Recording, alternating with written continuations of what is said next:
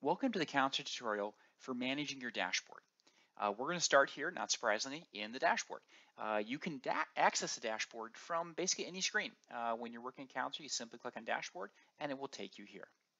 Now, within the dashboard itself, of course, there are a whole series of data sets, or what we call these boxes, we call them widgets, right? So each one of these boxes is called a widget, uh, and you have full control uh, to align these however you want, to group them however you want. And it's, and it's, really important to note that however you set these, that's just for you, right? Other staff members will be able to have the opportunity to set their dashboard as they see fit. So if you pop in here and you make a bunch of changes, it's not affecting anyone else's uh, view of the dashboard. It's only changing yours, okay? So what we're gonna do is we're gonna show how you can set up different groupings, how you can modify those groupings, and of course how you can utilize the dashboard widgets themselves. So uh, in this test account we've created, I have a series of groupings already in place. Uh, but let's say you wanted to create a new grouping. You would click over here on the right to, on this, uh, this plus symbol. This is the add new dashboard. So we'll go ahead and click on that. That's going to go ahead and bring open a whole series of options for us, right? These are all the different categories and specific dashboard widgets where you can select uh, what you want to see in your dashboard and the, or, and the order in which they will appear. Okay, so you can go through and you can select kind of whatever you want here. You say, all right, I want, I want this in the first position. Maybe I want devices uh, activity in the second position, device staging in the third, right? So you could create a grouping that's very topic specific.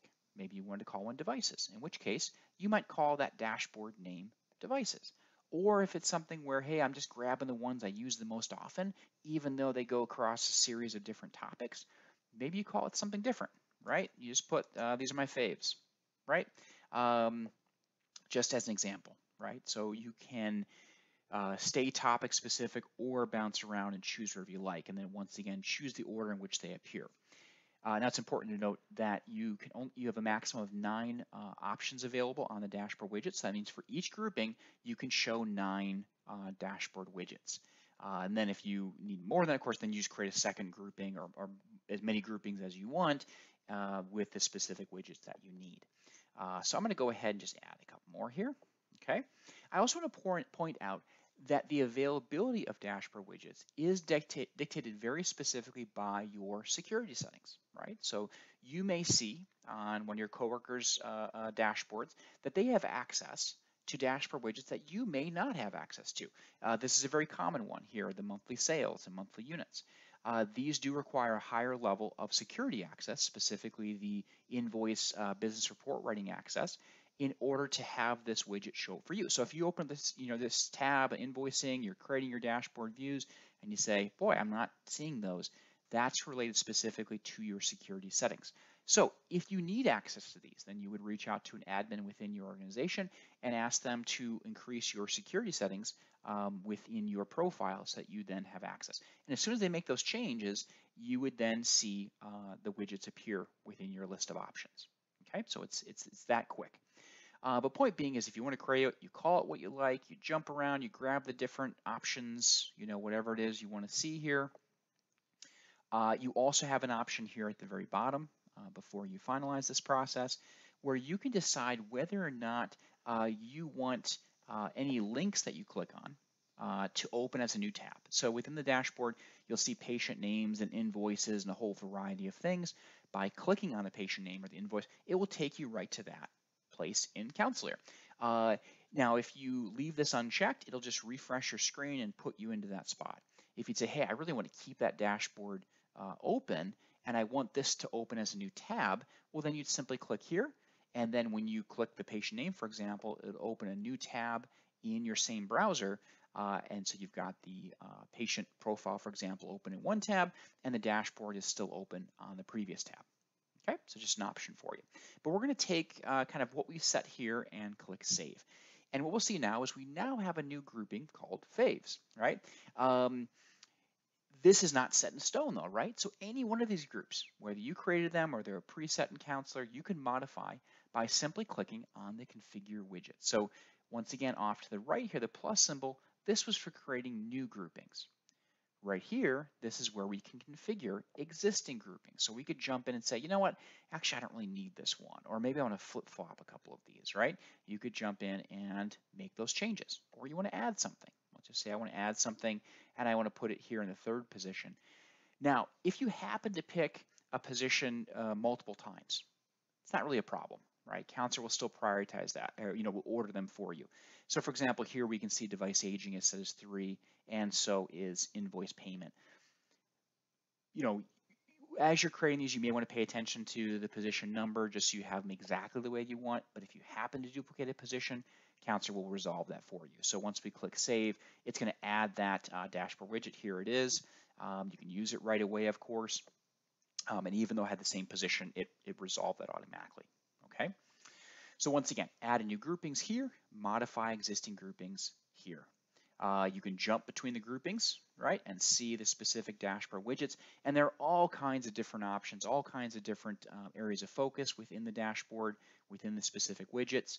Um, within them themselves, you have the ability, of course, to see specific data sets. So just look at a couple examples here, uh, patient devices activity. We can jump around and see, show me, you know, everything that's out, everything that's received, what needs to be ordered, what's out for order, what's received, et cetera, Right? You can go through and see what's really happening uh, in your clinic. Or if you have multiple locations, you can decide via this dropdown whether you want to see the information for all clinics or if you want to zoom in on a specific clinic, right? And in the case of devices activity, you probably want to see that at a, at a clinic level, right?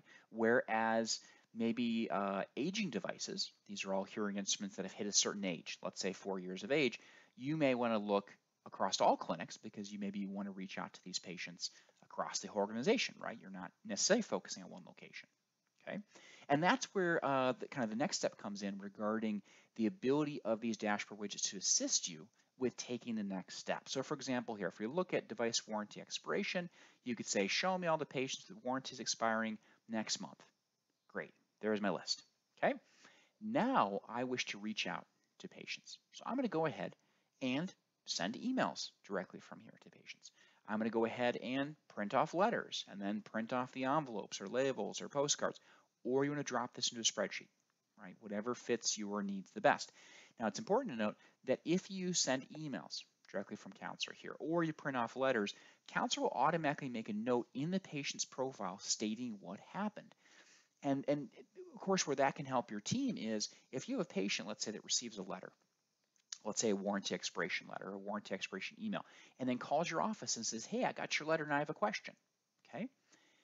Because you have initiated that action from in CounselEAR, within CounselEAR, and the note is in the patient's profile, uh, anyone on staff would know right away what that patient's referring to, right? Or maybe they're referring to a confirmation email they received or a, an invoice that you mailed, right? You would see those notes within the patient profile. So there's no confusion. Okay, Mr. James, yep, I see we were, you know, we, you, your warranty is coming for expiration, you know, because you know that because you saw the letter in uh, a note about the letter in their uh, patient notes, right? So it just helps your whole team stay on the same page uh, when the activities are happening here are visible within the patient profile. Okay. Now, many of the widgets will have additional filtering. So for example, if you stay on this device warranty expiration, you'll see a little gear symbol off the top right. That gives you more choices, right? And there are different choices based on the specific dashboard widget. So if you're looking at the, the basic uh, you know, search parameters here and say, yeah, I really want to drill down a little further into this, right? Maybe I just want regular warranties or just extended, or I want both, or I want to exclude patients that have upcoming appointments, right? That's a very common one. Um, or you want to look at maybe different warranty types, repair versus L&D or all. So this gives you some very fine-tuned control to refine the list further, and then as I mentioned before, take the next step. Okay, so we're not going to go through all the dashboards, as a course, on this overview, but I do encourage encourage you to kind of play around, look at the different um, options available to you uh, because when the dashboard widget widgets and the dashboard itself is used um, effectively, it can really save you a lot of time. It can really uh, reduce um, potential errors or second guessing. You know, seeing your task list, for example, right from the dashboard can be very helpful.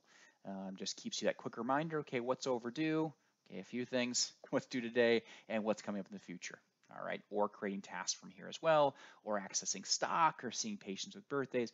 There's a lot that you can do directly within the dashboard. So of course, if you have any questions about the setup and the kind of um, uh, options within the dashboard, please give us a call, email us, live chat us. We are always happy to help. And thank you very much for joining us for the CounselEAR tutorial on managing your dashboard.